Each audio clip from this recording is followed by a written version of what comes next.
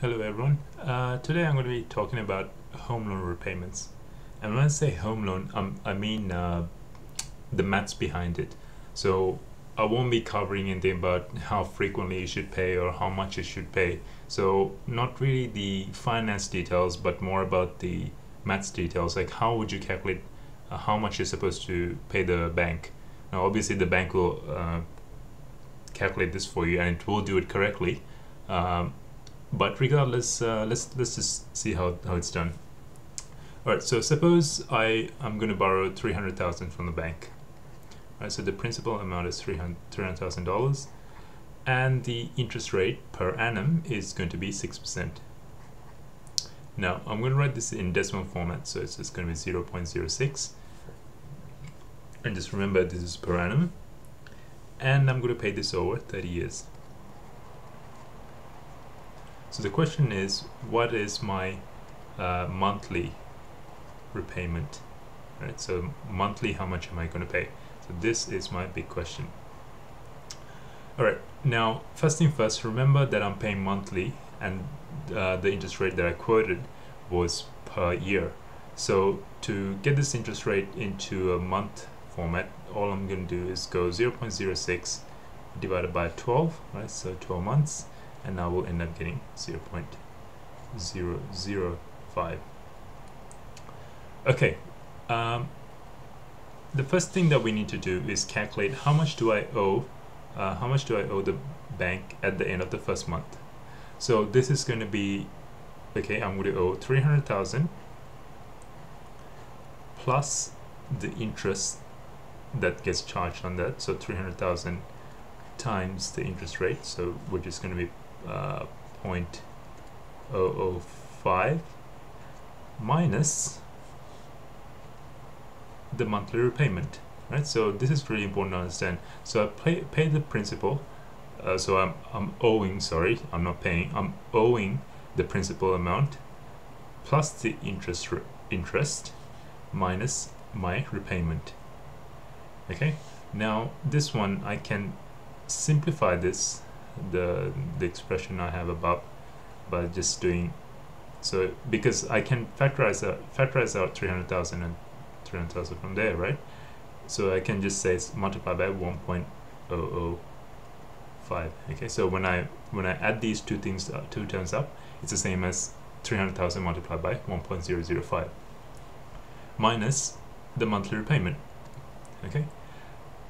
In the same way in the same way, if I if I look at A2, uh, so A stands for amount owing, right? So I forgot to mention that. Sorry about that. So A2 is simply going to be whatever I owe at my first month, right?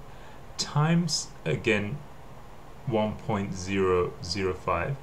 Remember the re the reason it's 1.005 is because I need to I need to pay back the amount that I'm owing plus the plus the interest rate, right? So plus this thing, that's why it's 1.005 minus again the monthly repayment.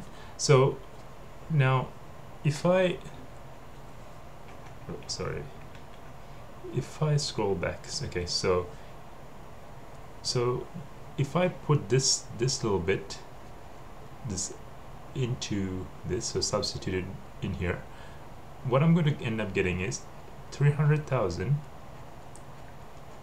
times 1.005 squared because remember I'm multiplying this entire thing by 1.005 that's what's happening over here right? So what, what's happening down here? Minus remember even the m has to be multiplied by 1.005 minus this m. Okay now so if I keep doing this so I'll do one more thing. So I'll do a3 as well just just to show you. So it's, it's going to be a2 times 1.005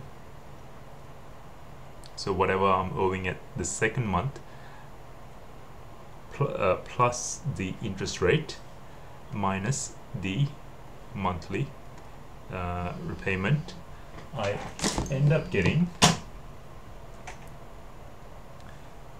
I end up getting this 300,000 times 1.005 cubed minus uh, m times 1.005 squared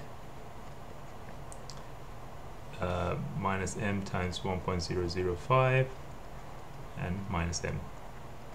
Okay, so right now you should you should start to be notice, noticing a trend. Okay, so I'm going to skip ahead and go for any arbitrary uh, repayment number. So say a a50, right? Or okay, let me choose a different color. Not a50. I'm going to say a a of n. So n is an arbitrary number, right? It could be a50, it could be a70, whatever it is, right? Uh, whatever the the number that I'm going to be owing is the 300,000 times 1.005 to the n minus m times 1.005 to the n minus 1 minus m times 1.005 to the n minus 2 and this dot dot dot minus m right so this is the amount that I'm owing right so I can factorize the m out from all of these terms, right? So from all of these terms, I can factorize out m. And what I'm going to end up with is 300,000 times 1.005 to the n minus m times, so I'll write this in the next line, minus m times 1.005 to the n minus 1 dot dot dot plus 1 right? So in fact it's actually beneficial to write this the other way around. From 1 to 1.005 to all the way up to 1.005 n minus 1 okay now if you if you remember going back to the question uh, I said that I'm going to pay this off in 30 years. Right so I'm going to pay this off in 30 years. And if it's going to be 30 years this n my in, in my case the n is going to be uh, 30 times 12 so it's going to be 360 okay? And also if you notice this this is this is a geometric series right? So every every single number if I start from the right hand side and go backwards I'm multiplying by 1.005 right? So this ends up being 300,000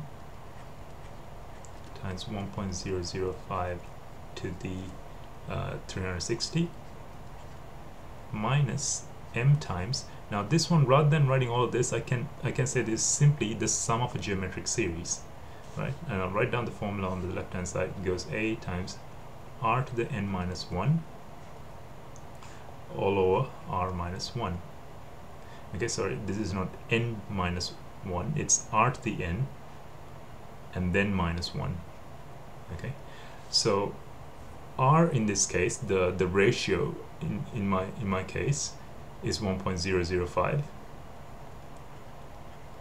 because remember I'm I'm thinking about going from right to left starting starting from 1 right? To the n over here is the number of terms. Because it starts from 1 there's actually going to be 360 terms. Okay minus 1 uh, divided by